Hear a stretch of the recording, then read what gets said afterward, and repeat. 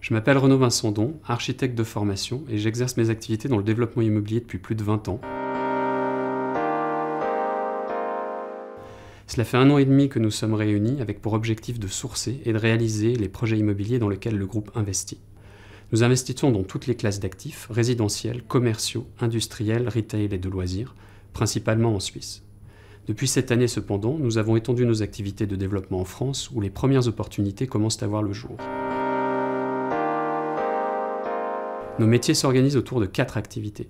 La recherche de fonciers et de bâtiments à revaloriser, la recherche d'investisseurs pour porter le financement à nos côtés durant la période de réalisation, le développement des projets à travers les études de faisabilité, l'autorisation de construire et la construction, et enfin la vente des actifs à des investisseurs finaux, principalement institutionnels. Vous avez certainement déjà entendu parler de certains de nos projets, Esplanade 3 Ponts Rouges, Stellar 32, Fourge 17, Précis 5, la Halle et l'Hôtel des Toits, et d'autres que nous nous réjouirons de vous faire découvrir lorsqu'ils seront à maturité.